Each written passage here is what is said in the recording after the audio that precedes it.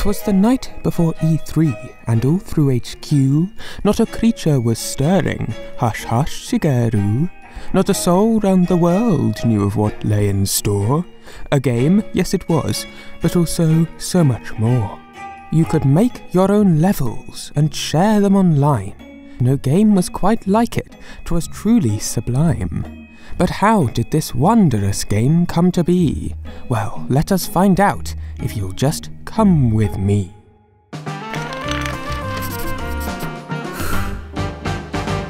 Hi there, welcome to Thomas Game Docs. Excuse my poetry at the beginning there, I'm getting into the festive spirit. So, in case you've been living under a rock for the last few months, it's only a few days until the release of Super Mario Maker 2.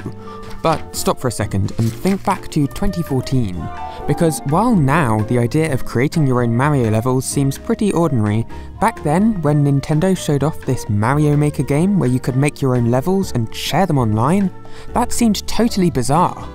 And so that begs the question how did this game even come to be? Well, Let's take a look, shall we? Mario Maker got its roots from a pretty unsuspecting place within Nintendo the Tools team. This team was responsible for, as the name would imply, developing tools that game designers at Nintendo could make use of when developing the games themselves. This team had previously developed the handwriting recognition that made Brain Age for the DS possible, but for their next challenge, they wanted to develop a tool which made it easier for Nintendo's level designers to quickly and easily create Mario levels, test them, experiment with them, ultimately creating the best possible level that they could make. Before long, the team got this tool running on the PC. And that was where it stayed, until the team heard of a little thing called the Wii U.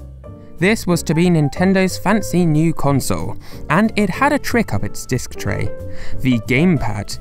This unique controller was more akin to an iPad than a Wiimote, allowing for two screened gameplay. This, coupled with the fact that this gamepad came equipped with a touchscreen and stylus, meant that the Tools team instantly saw the potential for moving their level creation tool, which happily resided on the PC, onto the Wii U. Once they had it up and running, the team soon realised that they had something great on their hands. Countless hours were spent testing and creating levels and sharing them with others on the team. And so the team approached Nintendo veteran and producer Takashi Tezuka, suggesting that the level creation tool be developed into an actual game. Now, separate from this, Tezuka had been doing some thinking of his own. For years, he had been wanting to develop a follow up to the SNES title Mario Paint. Now, in Mario Paint, players could, well, paint, but also create short animations, compose music, swat flies. It was a surprisingly full featured game, and Tezuka had long been wanting to develop some kind of sequel to it. When he saw Nintendo's Wii U console in development, he knew that the system's touchscreen and stylus combo would be absolutely perfect for a new Mario Paint entry.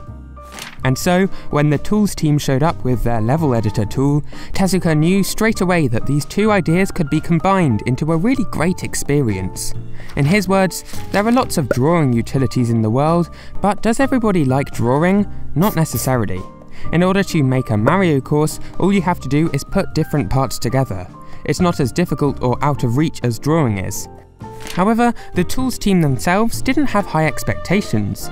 They told Tezuka, well, because all we're going to do is create an editor, we probably won't do it as a big piece of packaged software when it may be at a lower price point. However, Tezuka responded, no, this is going to be a full-sized piece of software. What Tezuka really enjoyed about Mario Paint were the weird little flourishes in the software, the hidden features that you might never even discover. He felt it was enjoyable just interacting with the software itself, and he wanted, above all, to incorporate this aspect into the new level creating game. Now, one of the first people that Tezuka brought onto this new project was director Yosuke Oshino. Well, I say director, this was actually his directing debut. Up until then, he had been a humble programmer, working on titles like New Super Mario Bros. Wii and Nintendogs and Cats. For this new game, though, he would ascend to the throne of directing, if you will. Exciting. Now, the first thing the team did was look at the tool team's tool and decide what needed changing. Their conclusion? Not much. According to Tezuka, the first prototype that we saw and played with was actually really beautifully designed and simple and easy to understand. We made a point to keep that same aesthetic and style. That's not to say it didn't see any changes though.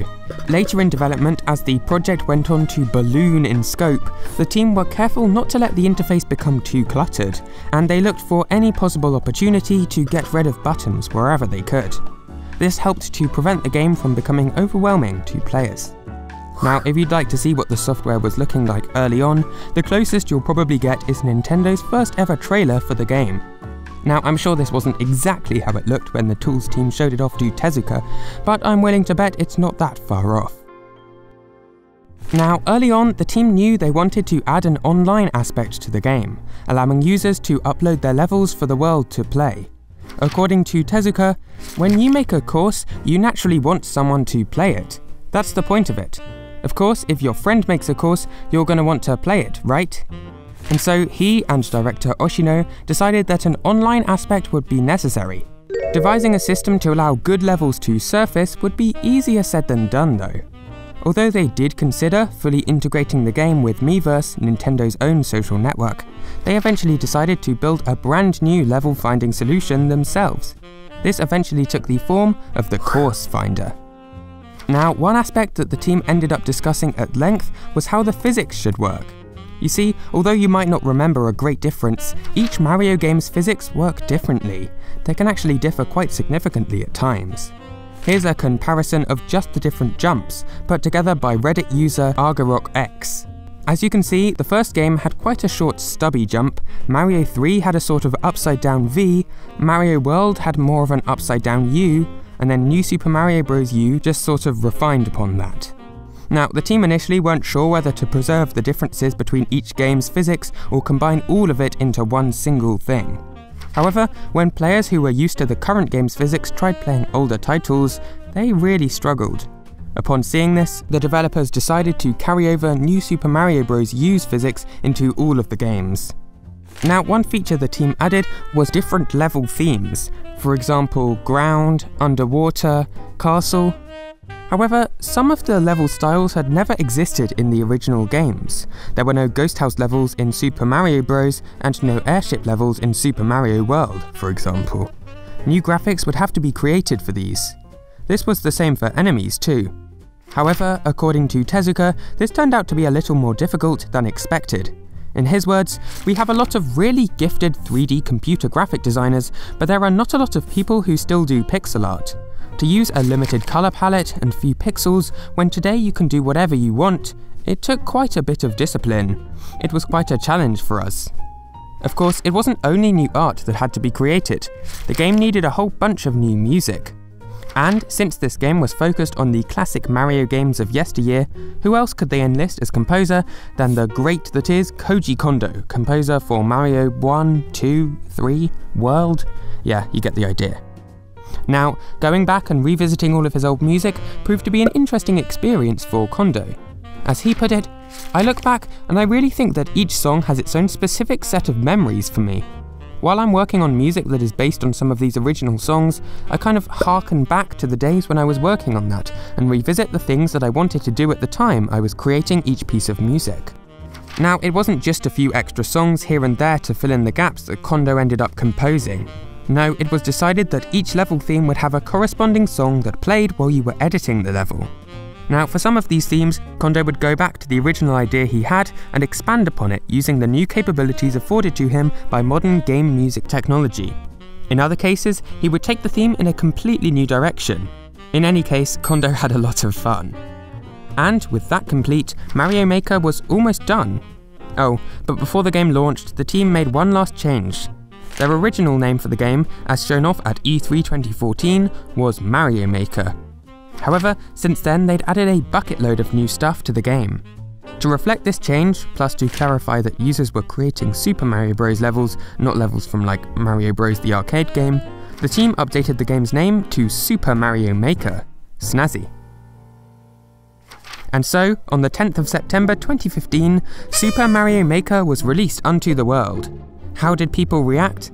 Well would be an understatement. it became a phenomenon, spawning thousands upon thousands of videos online. Plus, the game went on to sell 4 million copies. Considering the fact that the Wii U, which Mario Maker was released on, only sold 13 million units, that means that roughly 3 in 10 people who could have bought the game did so. That's pretty impressive. Now, where did the Super Mario Maker series go from there? Well, a port of the game was released for the 3DS at the end of 2016. Bewilderingly, though, the online elements of the game had been completely cut, replaced with a lackluster StreetPass integration, which meant that you could play courses made by people right next to you in real life. Like your neighbour? Still, with this shockingly bad decision not going to get them down, Nintendo announced a long awaited sequel coming to Nintendo Switch this year, coming out on the 28th of June 2019. From the looks of it, this game will be even more stuffed with cool objects, new themes, and music. Plus, it'll add a multiplayer mode too. Exciting stuff. So, it's looking like the future of the Mario Maker series is bright. Still, the new game better have some good old fly swatting action, or I'll be an unhappy lad. Oh, and before you go, if people end up enjoying this video, I have a few more Mario Maker related tidbits that I'd love to share. So, if you want to hear about some of them, be sure to share this video with your friends. You know, I think I'm becoming more and more shameless as time goes by. Uh, and if you want to see more videos like this, be sure to subscribe. And if you really love me, ring the notification bell. Thanks a bunch. I'll see you next week.